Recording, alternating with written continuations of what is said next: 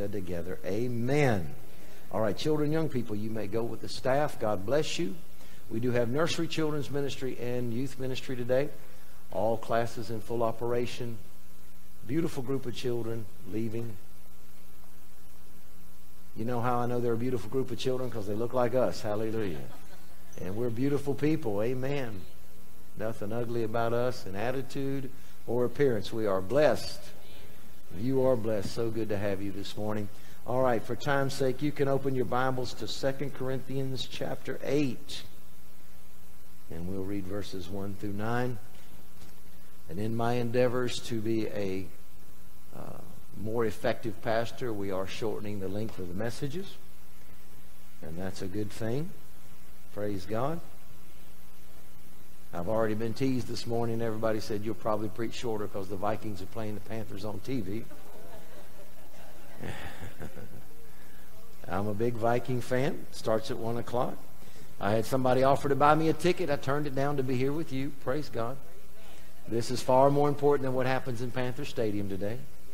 You know, if the Vikings win, praise God.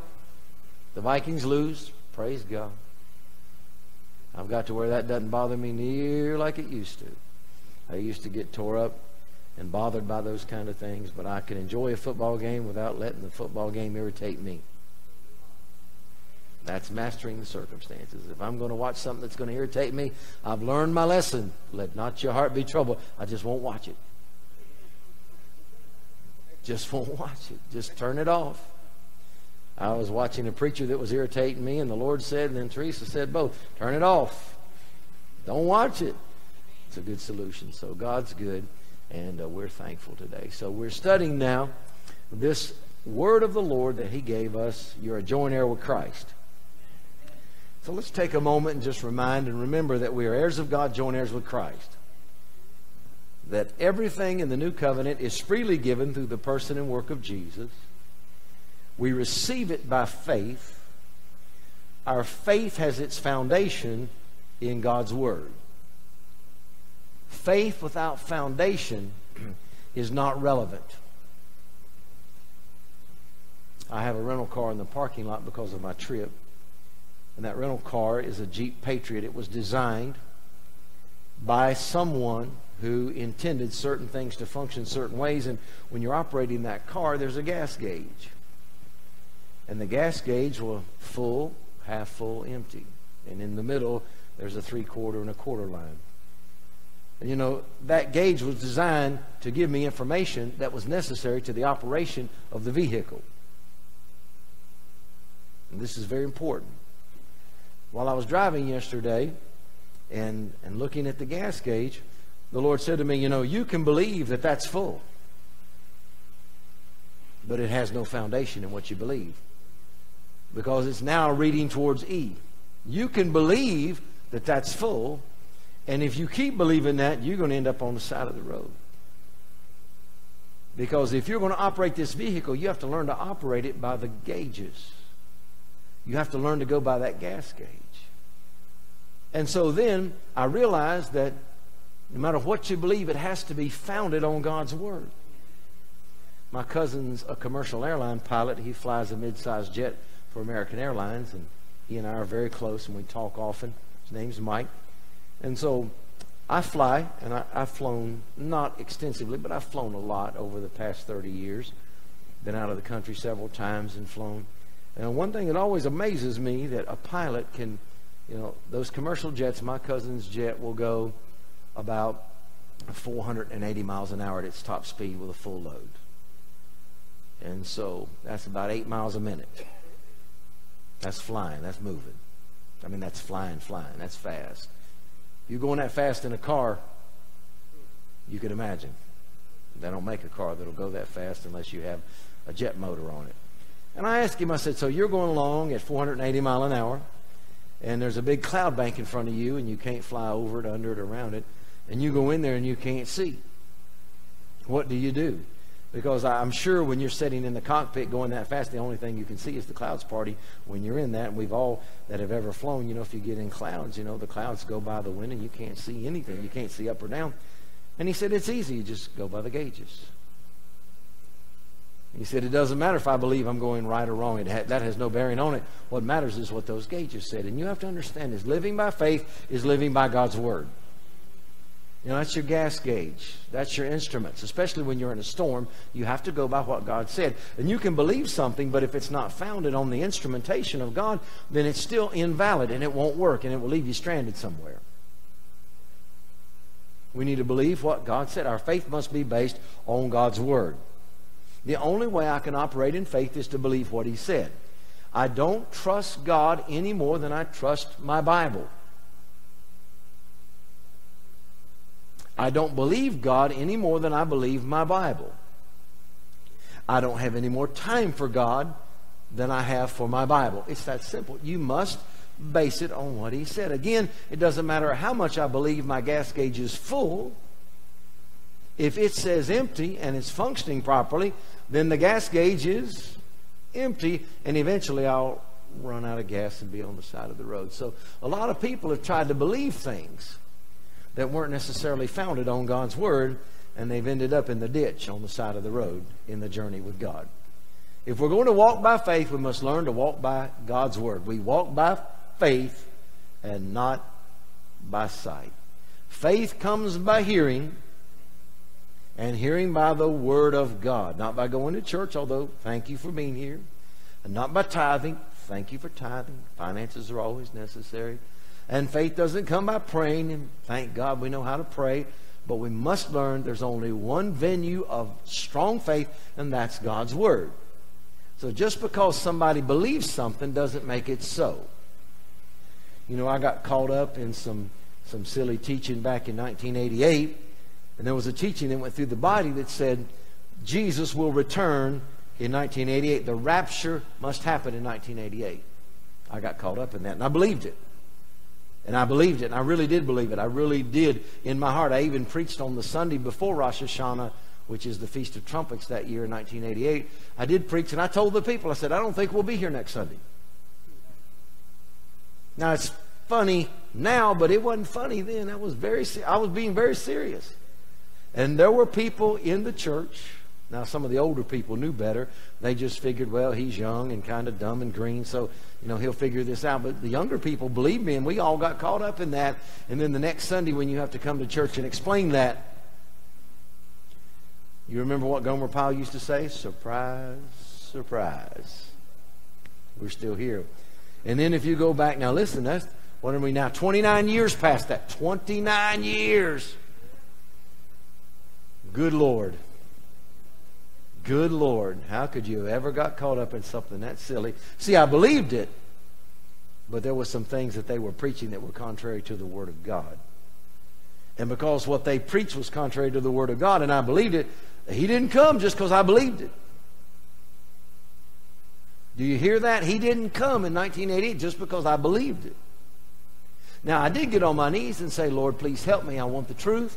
He did encourage me. He did help me. He did come to me personally. But as far as his coming, my faith didn't produce that. So you have to understand when you're walking with God, you want to be very prayerful and considerate to make sure what you believe is based on what he said. So we're studying this word of the Lord, which is Romans 8:17. That said, if we are children of God, we are heirs of God, and we are joint heirs with the Lord Jesus Christ. So it is written. So that's my gauge. No matter where I am, no matter what I'm doing, I remain 24 hours a day, seven days a week, an heir of God and a joint heir with the Lord Jesus Christ. That never changes because it is written. My faith must be based on what He said, not what I just believe apart from His Word. I must believe what He said. So from that, we're studying the blessing and how the blessing translates through Abraham. And now we're on the financial part of our covenant. We're calling this series covenant finances. And when we teach finances, we end up not talking a lot about money because money's really not the issue. Money is a tool. You need money to operate. You can't do anything in the earth without money. Money's a tool. Money's always a test. And money's always a thermometer of your heart. There are a lot of people that will quit when things get hard financially and give up. There are others that will quit when things get too easy financially. We had a couple long ago at the old building, and when they couldn't rub two nickels together and we had to help them pay their light bill, they were at every service. They loved, they served, they gave. We prayed, they believed, they went out, they got jobs, promotions, blessing, and then as they became rich and, and were increased greatly, then soon we didn't see them on Wednesday anymore. Then we didn't see them on Sunday night. We used to have Sunday night service. Then we didn't see them every other Sunday. Pretty soon they were out of the house of the Lord and they had bought the big house and the two cars and got the expensive, uh, you know, purebred dog, all that stuff, and all that's wonderful, but it took them out of church. When they didn't have anything, they were there trusting God. So you'd be better off there trusting God than you would have all that money in the big house and go over there not trusting God and getting caught up in your own carnality. That's not wisdom. You always want to seek first the kingdom of God and His righteousness. Always seek first His righteousness and the kingdom of God. And so, to have the big house, to have all that, wonderful. Thank God for His prosperity and blessing, but not at the expense of me being faithful to God operating God's way. I'm going to operate God's way whether I have a little or a lot. I'm not going to start giving when I get a lot. I'm going to give today. You know, a lot of people are waiting for their ship to come in. Sweetheart, you didn't send a ship out. There's no ship coming. You have an inheritance that's freely given by God, and then you're, you have a right to operate in harvest. And preachers have never distinguished between inheritance and harvest. Inheritance is what's been freely given you that you had nothing to do with but receive it. Then you can operate in it. Harvest is when you sow seed and reap from that. Which one's scriptural? They both are. Which one's biblical? They both are. Which one does God want you to have? Both. Both harvest and inheritance. They're both scriptural. And if you don't make a clear line between harvest and inheritance, especially financially, then you're always going to be caught up in the gimmicks and the tricks of trying to get people to give and trying to work the system and, you know, all of those things. You'll give this $2,000. Well, for example, back in 1998, it was preached in the body of Christ that that was the year of Jubilee because natural Israel became a, a nation in 1948, and in 1990 it was 50 years. And so that if you'll send this money in, then all your debts will be canceled because one of the characteristics of the year of Jubilee is debt cancellation. And so there were thousands of people in the church that sent that $2,000 offering in and they didn't get their debts canceled. Because that's a gimmick, that's a scam. And I, I respected a couple of the men who got involved in that. It's a scam. Because the truth is, if you really want to talk about debt cancellation, you've got to start with the cross. And I listened for months. Back then, I would listen to that stuff. And there was never one time that I heard a mention of the debt that was canceled at the cross. The handwriting of ordinances that was against us or made us debtors was nailed to the tree. Not one time did I hear that. And then, if you really want to go on and preach debt cancellation, we need to cancel the debt we owe each other. Forgive one another. And then if you want to take it into the financial arena, the way to preach debt cancellation is that if somebody owes you money, forgive them and let it go. And see, they were preaching that if you'd sow them the money, the man that had the note for your house would just forgive you. A lot of foolishness. So I want to avoid that at all costs. I want no part of that. I want no operation of that. I want to operate my finances and this church by how God teaches we should. Because the new covenant has instruction in it. So thus far in our study, we've noted that number one, we need to preach the gospel to the poor, and the poor is in every dimension. And then number two, God gave us a prophetic word last week concerning the house and how to build the ministry. Go up to the mountain, bring wood, build my house, and I will take pleasure in it. We looked at the prophet's message, the people's mistake, the plan for ministry, and then the promised manifestation. God said, I'll take pleasure in it, I'll be glorified, favor will come. And we had prophesied this morning that favor is here, favor is now, favor is coming, and I believe you said favor like never before. A deeper, fuller, richer expression and experience of God's favor. And we are of faith, and we are blessed with faithful Abraham. And although he had no economy, he was a wandering nomad in a wilderness without substance or supply, he was richly blessed in everything he did because God was his source and supply. Now that's what I want to operate in, the blessing of Abraham. Galatians 3:14. Now remember the gauge illustration? Galatians 3:14 said the blessing of Abraham comes on the Gentiles through faith and we receive the promise of the Spirit. So I want to walk in the blessing of Abraham no matter where I am, what I'm doing, operating financially or spiritually or mentally or physically or socially or emotionally or any other realm of my life. I want to operate in the blessing of Abraham and I want that blessing to operate in me. Proverbs 10:22 The blessing of the Lord maketh rich, he adds no sorrow with it. That's the one I want the blessing of the garden. Be blessed. And he says, Be fruitful, multiply, subdue, replenish, have dominion. That should be working in my life now. That blessing's been restored. That blessing is Jesus. He's the blessing of life. There, God commanded the blessing, even life evermore, in Psalms 133, verse 3. So we want to learn to operate God's way. We've heard this prophetic message. If we'll take the message of the cross and the message of Jesus and what he did, what that means to us, and we'll let God build the house through redemption's blood and redemption's blessing, then God will come and favor this place, favor this house, be glorified in it, and we'll become an amazing revelation to the earth that the light of God and the glory of God will go out of this place. The river will flow out of this place and touch broken, hurting, crying, dying, sighing humanity. That's what we're believing for. And the only way that's ever going to happen is if we learn to do things God's way and not our way. Shocking revelation my way won't work in the kingdom. Shocking revelation your way won't work in the kingdom. So this morning, we're going to call this the provision. The provision. So let's read in 2 Corinthians 8, and here Paul is addressing Corinth, and they have made a pledge of finances to help the poor believers in Jerusalem. They have made a pledge to send an offering and to make up an offering to send down to Jerusalem, and they have not followed through on their pledge. They have failed to honor what they told Paul they would do. And so now he's writing to them, and he deals with this thought that they have made promise, they have given their word, and not kept their word up to this point. So, from that perspective, the Spirit of God is going to show us masterfully here some things that we can learn. I'm going to deal with verse 9, but notice 2 Corinthians 8 1. Moreover, brethren, writing to the church, we do you to wit. Now, in modern English, that don't make any sense.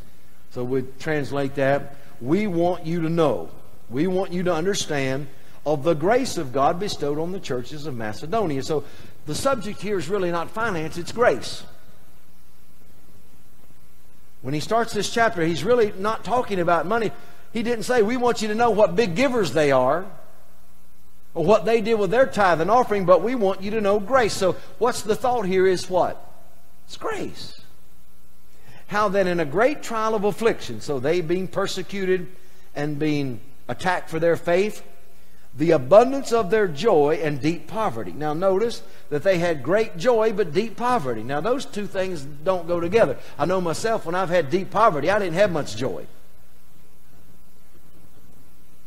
Can we be real this morning? I know deep poverty never made me joyful. But here he says they had great trial and the abundance of their joy. So if you're in a great trial, what does James say? Count it all joy. Now, most people don't do that, but God said, when you're in a trial, count it all joy. I've counted it woe, misery, pain, suffering, woe is me, but He says, count it all joy. And their deep poverty. So they had some poverty that was entrenched. But from that place of being in deep poverty, they abounded to the riches of their liberality. So he's really not just talking about their giving, he's talking about grace working in their heart. You see, grace will make you liberal. But grace will also make you conservative. I'm not speaking politically, but grace will make you conservative. There's see, the grace of God will appear teaching you to deny ungodliness.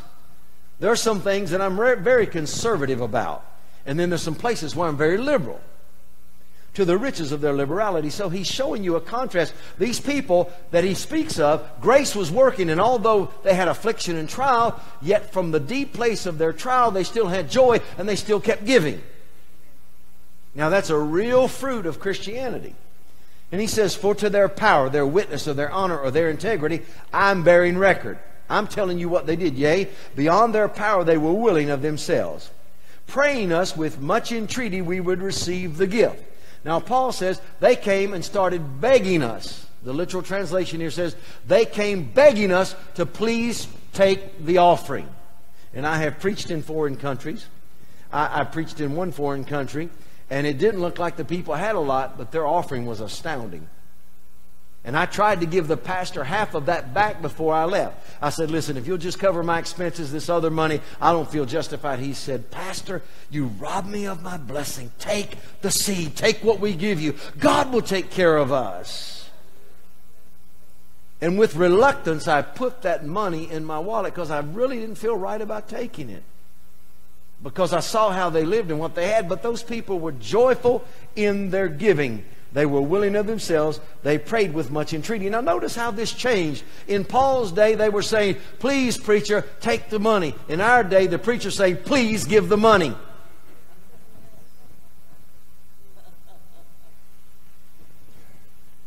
And a preacher begging for money is nauseating. To stand up here and take 30 minutes in a service and talk to you about how if you don't give, we're not going on that's ridiculous. If God's with us, we're going on. At some point, you have to live by what He said. We're going on. And so we never take more than four or five minutes with an offering. It's not necessary.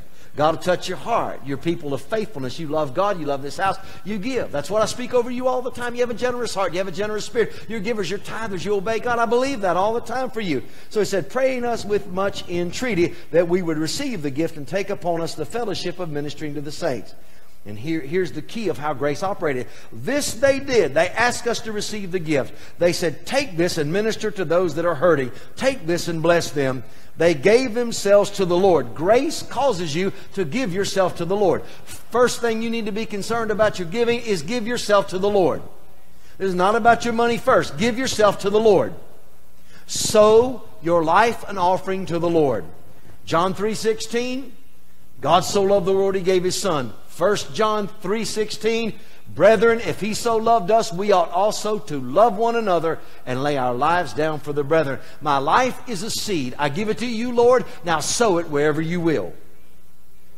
Now, what's the subject here? Grace. Grace brings me to a place of heart where I can say, Lord, now, I'm not going to give my life because I'm unwise. I don't know where to give it or how to give it. I've watched preachers give their life to build a church and then the church walk out on them. I've seen that happen. That's unwise. I don't even know where to sow my own life. But Lord, I give my life to you a seed. Sow it where you will. And He sows it in prayer. He sows it in open door. He sowed it in Alabama this week. And when He sows it, then I never get spent out. When He sows it, I don't get burned out or tired out. And I reap a harvest of His design, of His destiny, of His direction. And it blesses me. They gave themselves to the Lord. That's very important. Don't miss that. They gave themselves to the Lord and to us by the will of God. So you learn three things here. Giving first is give yourself to the Lord. Second is give yourself to the ministry. Now, I have a pastor. His name's Pastor Sears. I give myself to Pastor. Every Sunday morning, I'll call him and bless him through the week. As I started out to Birmingham Thursday, I called him and said, Please, I need you to pray for this trip. I'd called him two weeks ago and asked him to sow seed and pray over it. And I called him Thursday, please cover me. I give myself. Now, Pastor, if you need me, you call Pastor, whatever you need. If you need me to pray for you, if you need me to help you in any way. When he was in the hospital, I called him. I said, Listen, you want me to come sit by your bed and read your healing scriptures? I'll be right there. Whatever you need, that's what I'll do. They gave themselves to the ministry. That's very important that you make yourself available to serve. I need you to pray for me. I need you to help me. I need you to help me build open door. I need you to hold my hands up. I need your help. And I promise you, I'm not going to try and use you. I'm not going to take your life and, and pour it out the way I see fit because that's just as bad as what I would do with mine. I don't know any better, but God will put you in the right place. God will help you if you'll learn to do that. And then they gave themselves to the will of God, which was ministering to people. So I say it this way they gave themselves to the master, to the ministry, and to meet the needs of people. And that's what grace does. Grace causes you to give your life to the master Jesus, to the ministry to bless and build the house, and then to meet the needs of the people, which is harvest. Insomuch that we desired Titus that as he had begun, so he would finish in you the same, same grace. See, he's still talking about grace. He's just talking about the grace and how it influenced the people at Macedonia. So if I stop and ask you now, you speak of grace, and this is a grace church, and we say we're not under law, how is grace influencing your life? How is grace impacting you? What has grace done for you? What change is grace really making? Because if it's not making an impact, if it's not influencing, if it's not changing, if it's not bringing you to that place of this, then it might not be the grace that God wants you to operate in. There is a grace that's turned into lasciviousness, Jude said. There are evil men crept in and aware that turn grace to lasciviousness, and they become spots in your feast. They become clouds without water and trees without fruit and waves of the sea bringing up their shame. There is that aspect of those who turn grace into lasciviousness. But here he says, listen, this is the grace. Wherefore, as you abound in everything. So let me stop and encourage you. God wants you to abound in everything. God wants you to abound in your faith, in the fruitfulness of the Spirit, in the gifts of the Spirit, in healing, in life. God wants you to abound in everything. God wants you to abound in everything in faith, in utterance. That praying in the Spirit and utterance from the Spirit, knowledge, and in all diligence. Man, be diligent.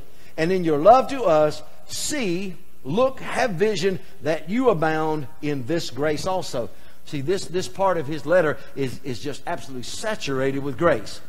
Grace worked in Macedonia. They gave, they were struggling, but they gave willingly, and they have their joy intact. They have joy, and they're giving willingly. Now, Titus, call the people and tell them, and he's writing through Titus this letter, and he says, Now tell the people this same grace is available to you to abound in your blessing because Corinth was not under affliction, and Corinth had a lot of money. It was a very affluent place. Now, just, just as a note, Oftentimes, bigger churches with great resources are far less in their giving than smaller churches with less resources. That's true. I've experienced that. And go to a church that will run 14, 1500 people, and they'll give you an offering. And, and it's a good offering because of, of where we are, and the money I make is a good offering. But when you go back and you compare that to the number of people that are there, you go to a church this size and they'll give you almost three fourths of that offering, or sometimes as much as. It's just amazing to me. It's amazing to me when I walked out of Birmingham how that group of people blessed me. Those Church of Christ people are givers, man. They're givers. I mean, about every one of them in there were just putting, they pulling out money left and right. I, I was shocked. The first night I said, that's more than I prayed for to ask for the whole thing. Giving. Little group of people in a hotel room. And one of the men that goes to that church was telling me about that Church of Christ. The other Sunday, they asked for a makeup Sunday because they, they were behind. And that little church, that small church, gave $108,000 in one offering. One offering. Those people brought in $108,000. I was like, wow, what a heart. What a heart. What giving. So I have to learn. I know of a church in a, in a city, and we're going to leave the city nameless, but this is, this is the church. They're a Pentecostal church, and they've got an auditorium that'll seat 800 people. They got a choir loft. Their building's paid for. They've got a full gymnasium. They're in a part of town where they can minister to people left, right, and all around. And that church sits there. And what happens is, because of where it is, you got a bunch of suburbanites that drive to that church on Sunday morning and Wednesday night. They open it up for a few hours, and then they do their thing. They close it. They go home, and that gym sits there, and that church sits there, and it runs about a hundred people. And I'm thinking to myself, if with that kind of facility, and they have more people drive by their church in a day than we have have drive by this church in a month. And I'm thinking to myself, it's all paid for. 800 seat auditorium.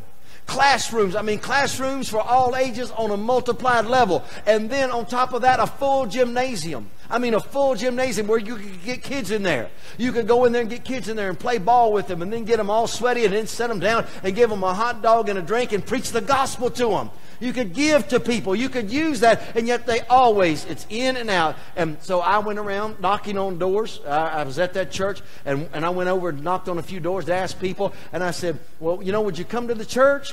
And you know what they said to me? He said, Well, we never even know that church is there. They come in on Sunday and leave on Sunday. We don't even know who goes there. Even the next door neighbors of the church.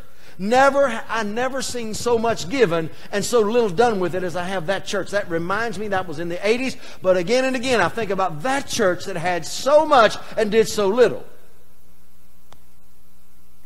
And then I think about a church like Open Door, and we don't have a lot to do with sometimes, but we give it, we sow it, we've sown all over the world. I want to do something with what I've got. And that's what Macedonia did. Praise God. And I'm believing the day will come when we can bring the kids into a gym. I'm believing that. You know, every day I walk out of here, I prophesy these buildings are already there. Prophesy these buildings are paid for. Prophesy this 12 acres is developed. Prophesy favor on this land. Moments of favor. God could change this. But as He changes this, He needs to change us. Now, notice what He said. I speak not by commandment. He's saying, listen, this is not some law I'm putting on you, but by the occasion of the forwardness of others, meaning by, by watch the other church at Macedonia, and their liberality and their love, to prove the sincerity of your love. And the truth is, is that the sincerity of our love, the blessing and the giving of our love and heart has a lot to do with how we operate in this grace. And the grace does affect us in our giving. And this is our text this morning. I've only got a few moments left. You know the grace. What are we back to? Grace. Grace in Macedonia, grace working, abound in this grace. You know the grace of our Lord Jesus. Though he was rich, yet for your sake he became poor, that you through his poverty might be rich. Did you read that? It's staggering. Let's read it again. You know the grace of our Lord Jesus. Though he was rich, yet for your sake he became poor, that you through his poverty might be rich. Now, Sandra, can you put that on the board for me in the Amplified Translation, please? Do we have it? Let's read it from the Amplified Translation. All right, for you are becoming progressively acquainted with and recognizing more strongly and clearly the grace of our Lord Jesus Christ. So, what are we talking about? Grace here, His kindness, grace is generosity, His undeserved favor and spiritual blessing. Praise God. Undeserved favor, spiritual blessing. How He blessed me in every dimension of my life. His gracious generosity, His undeserved favor and spiritual blessing. In that though He was so very rich, Yet for my sake, your sake, our sake, he became so very poor in order that through his poverty or by his poverty, you might become enriched and abundantly supplied. Now that is well done and well written. So, very quickly, notice this the message of grace. God wants you to embrace and receive the message of grace. I'm thankful for the grace of God. I'm thankful that this is not based on what I do, it's based on what He did. I'm thankful it's not based on my merit, but His. It's not based on my ability, but His. This word of grace has changed my life. This word of grace has revolutionized me. And so God wants you to embrace this and receive it. God's grace is freely given to you. God's grace is freely given to every man. God's grace is freely offered to every man through what Jesus did. It's freely given, but He wants you to receive it. Now, notice what that says. He wants you to know it, become more acquainted with it progressively and deeper and more clearly acquainted with it. God is a God of grace, and His grace is on you today. His grace is on you. His grace is working for you. His grace is working in you. His grace is changing you. His grace is ministering to you. His grace is multiplying you. His grace is at work. But you have to receive this. You know it, now receive it. Thank you. Romans 5, verse 17 said, They which receive the abundance of grace. And I, on a continual basis, Lord, I receive the abundance of grace. And here's the difference the law demands something from you. The law demands that you love God with all your heart. The law demands that you not take His name in vain. The law demands things of you, but grace supplies something to you. Grace gives something to you. Grace supplies, not demand. Grace supplies righteousness. It supplies peace. It supplies blessing. It supplies favor. It's like the Niagara Falls. It just keeps coming. And if you'll just receive this grace, become acquainted with it and know it, it will impact, it will influence and change your life and put you far more in the way of agreement with God. Then you'll notice this. There's the earth walk and the mystery of God in the flesh. Now, he was very rich, and so most people preach this as eternity. And was he rich in eternity? Totally, absolutely, completely. But he was rich in his earth walk, and this is where the myths and the mysteries come in. And let me just show you a couple real quick. You know, every church play I've ever seen, where are the wise men when they get there? Where are they? Where are they? They're at the what? You said it right. What is it? They're at the manger. Did you know that's not true? Matthew chapter 2, they never made it to the manger. Jesus was already in a house. We're without excuse. We wonder why people relegate the Christmas story to the Easter Bunny and Santa Claus is because we don't even get it right. Any worldly person that reads the Bible said, well, those wise men never made it to the manger. Matthew chapter 2, the wise men came in a house. See, there was no room for him at the inn. And there's a great message there. See, we preach there's no room at the inn. There was no room for him. There's a lot of places where there's no room for him. Are you listening? There's a lot of places where there's no room for Him. There are a lot of hearts where there's no room for Him. There's a lot of places they'll say, you could talk about God all you want to, but you mention Jesus, you're fired. Back to my cousin Mike for a second. My cousin Mike is an avid Baptist boy. I mean, he go he, for vacation. My cousin Mike went to Jerusalem and passed out tracts on the street. Did that for seven days. That's one week of his vacation last year. Going down there witnessing to Jews and passing out tracts. Now, that's a dedicated witness. Good old Baptist boy. Loves Jesus. Wants people to get saved. He's nearly gotten fired three times for talking to people about Jesus. They finally called him in. American called him in and said, Listen, Mike, you're a great pilot. You've been with us 30 years. You're a check pilot. You, you can do all these things. Preach on your own time. Fly the plane when you're working for us. But he'll go through his plane before people get on there, put a track in every seat, pray over every person getting on his plane that if they don't know Jesus, they need Jesus. Praise God. There's a lot of places there's no room for him. So there was no room for him at the end. But you know, then tradition teaches us that Joseph and Mary were poor. After all, they were riding a donkey, but you got to realize a donkey in that day was a Cadillac in our day. A donkey in that day was a Cadillac in our day. A donkey was a good thing. And then, when the wise men got there, they opened up their treasury, so they were in a house. See, Joseph didn't just keep him in a barn, he was born in a barn because there was no room for him at the inn. You see that? It's not because Joseph couldn't afford a room. Why would you go ask about a room if you couldn't afford it? Then he was in the house. Well, where'd they get a house from? And then, if you'll read the story, when those wise men got there, they opened up their treasuries to him gold, frankincense, and myrrh. They funded him at his birth. They funded him at his birth. I heard all my life growing up in church, Jesus was homeless. I heard all my life growing up in church, and I saw the little pictures that they put up on the flannel graphs. That really tells you how old I am, praise God flannel graphs. We're going back a day or two to get to flannel graphs. And Jesus was a funny looking little guy with a one size fits all sheet with a sheep under his arm going around trying to get people to believe in him. Now that is a picture of a poor Jesus. But Jesus was not like that at all. I heard this in church all my life. When Jesus came and lived among us, he was just like us. Are you kidding me? Are you kidding me? Seriously? You know, you worry if the light bill's not paid. Jesus walks on the water. You stay up all night if the wind howls. Jesus gets up and says, Peace be still, and the sea is quiet. Somebody dies, we take a bowl of potato salad over there and say, I'm sorry. Jesus goes and raises them from the dead. He's nothing like us in his earth walk. The greatest phenomenon to ever dawn human history was this man called Jesus. For three and a half years, he showed you the Father. He rocked this world. He cast out devils, healed the sick, cleansed the leper, discharged the debtor. Ain't never been anything like Jesus. And so in John chapter 1, they said to Jesus, Master, where do you dwell? What did he say? And tradition will teach you that Jesus said, Well, now you know the foxes have a hole. And the birds have a nest, but I don't have anywhere to lay my head. So now we got a homeless Jesus. Got a homeless Jesus.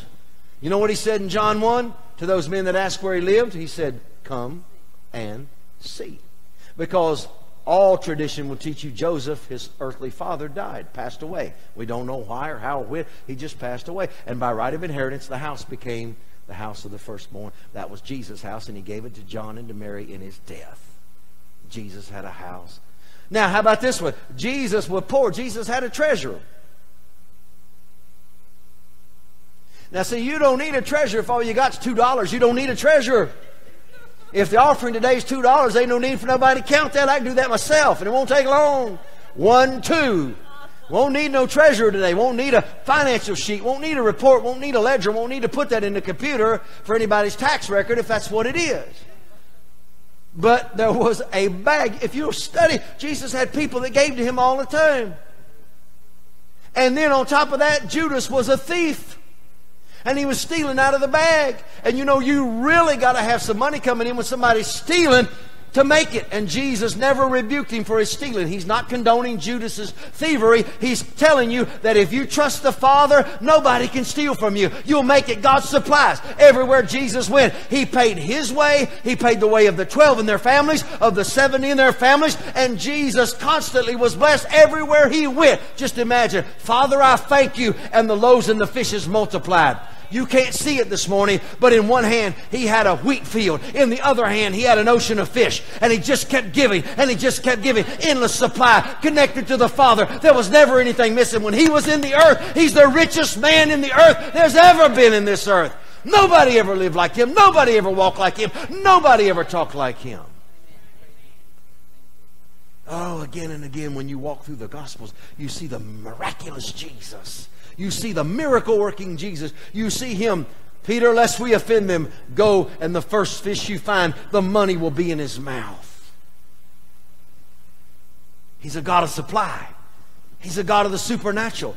Jesus was not like us. He was very rich in the earth walk. Everything he did was blessed. Everything he did prospered. Everything he did flowed like a river. He was not like us in his earth walk. He came to show us the Father. He came to show us the supply. He came to reveal God to us. That's why he came. Look at it. Though he was rich, yet for your sake he became poor. Now notice, he was rich. When you study the Gospels in the light of what they really say, please, you know, and I understand we're all trying to do the right thing, but when you see the wise men at the manger, just know that somebody didn't read Matthew chapter 2. And the world makes fun of us, and we can't even get the story right in church. We are without excuse. We have a Bible. Do you remember what I started with? You got a gauge. And if the Bible said the wise men came in the house, then you got to have them in the house. You don't need them in a manger. Somebody said, well, that don't make no difference. It does make a difference. It does matter. God said the wise men came to the house. It does make a difference.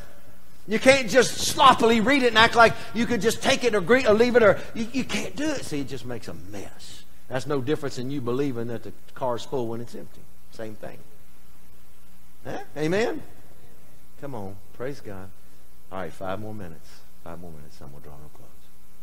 So, and I'll, I'll, have to stop with this. We may come back here next week, God willing. I don't know, but we'll stop with this. So then, now we come to this redemption and the mercy of the great exchange. So when did Jesus become poor? When did he become poor? When did he enter poverty? That you through his poverty. When, when did he become poor? Now I want you to notice in your Bible, put your eyes on it, that you through his. Now notice his poverty his. So he took it. His poverty. He took this. It becomes his.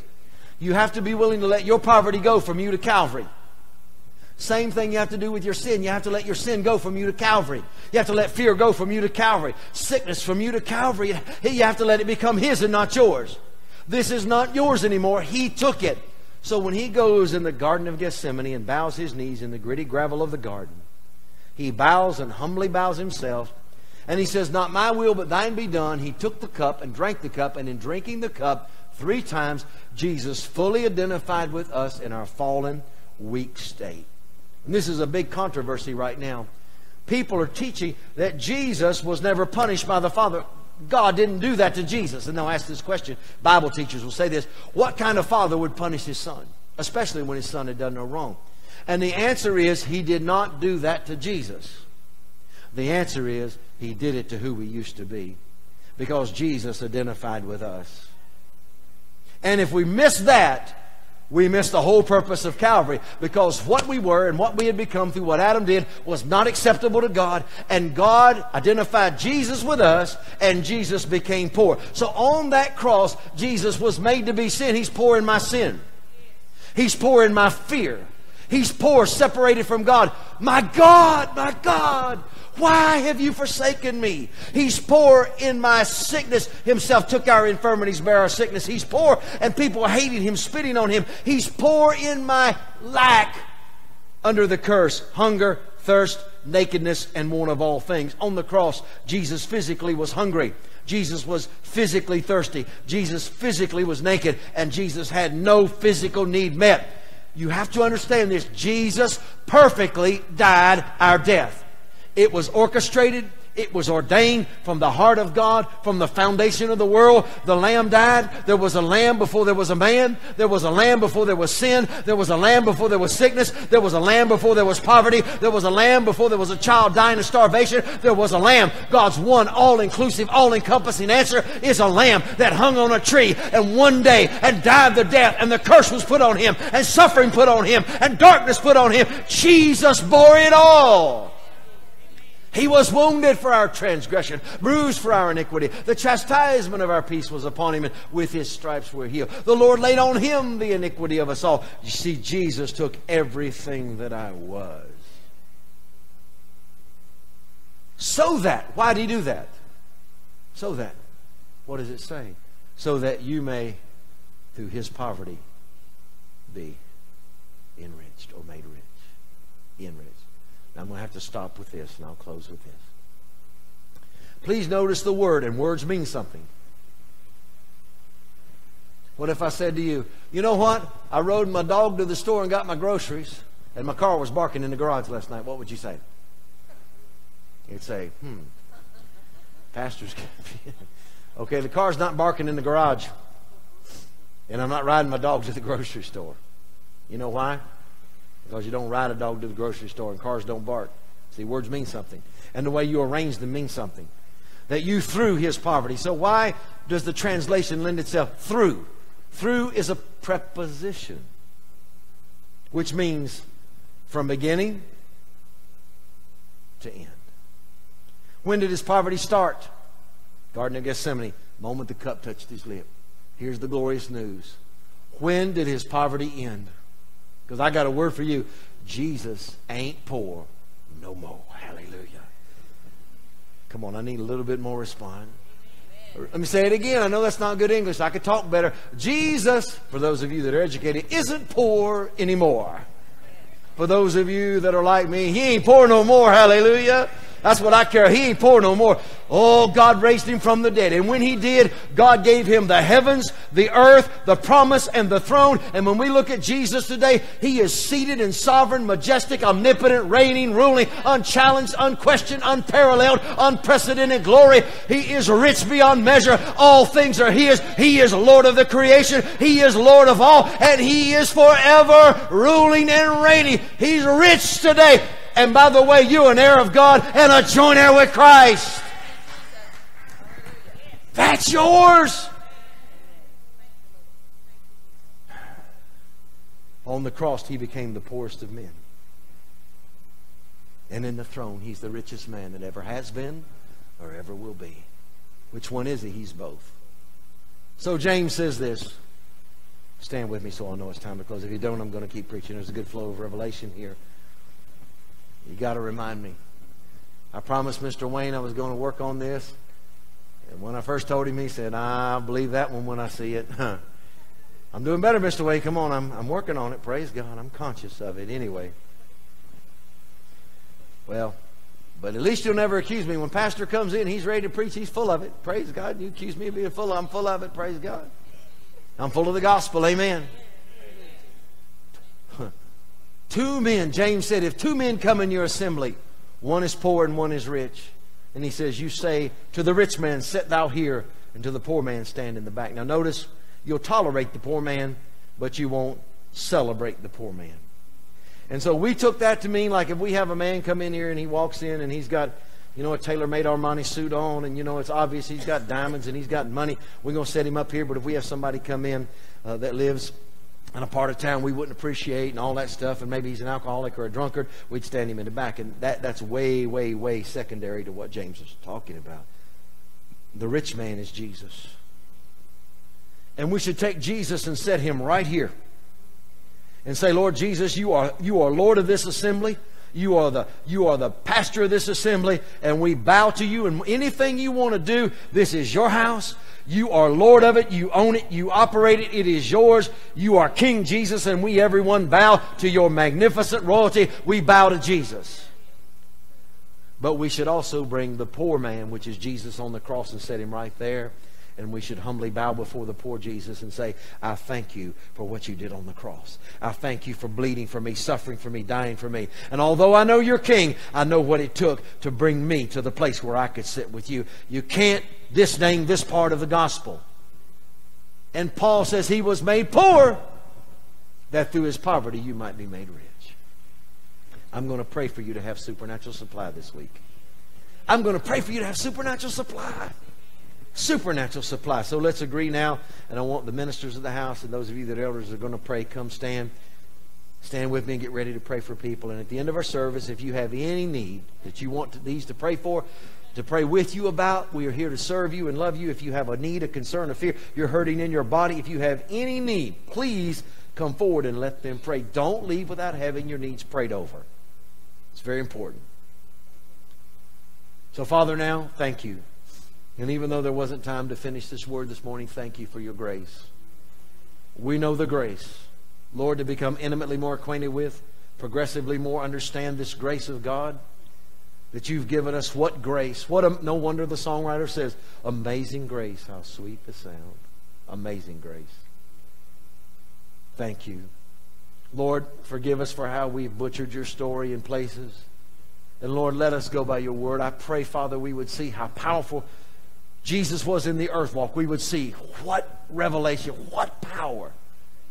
That he dominated death and devils and disease, and he dominated discouragement and doubt. There was nowhere you could put Jesus that he wasn't a masterful king reigning in every circumstance.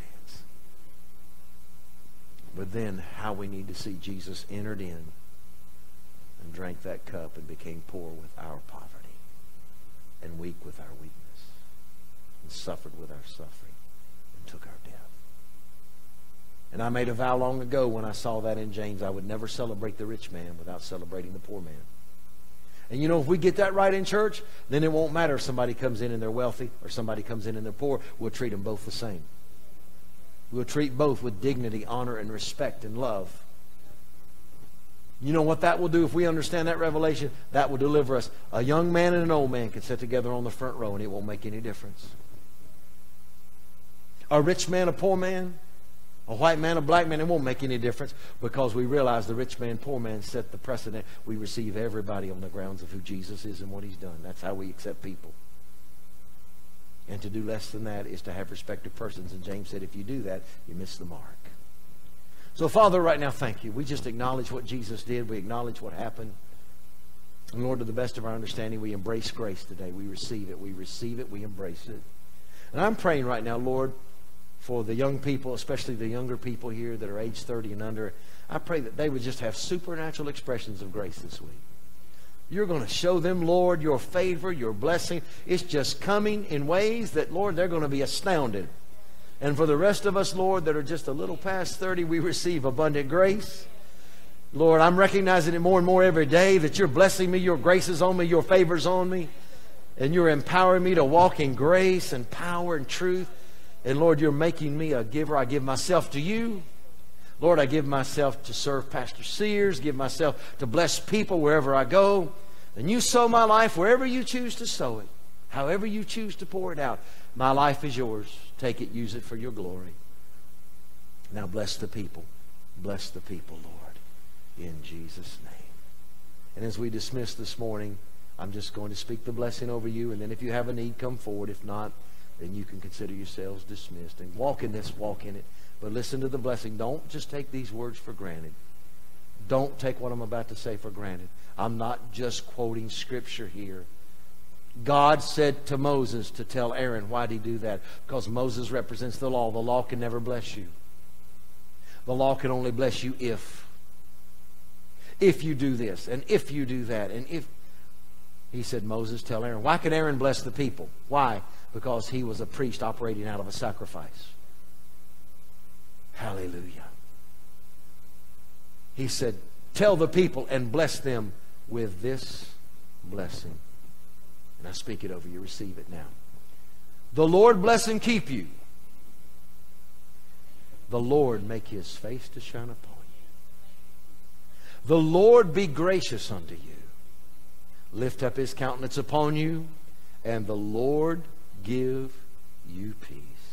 This is the blessing of Abraham.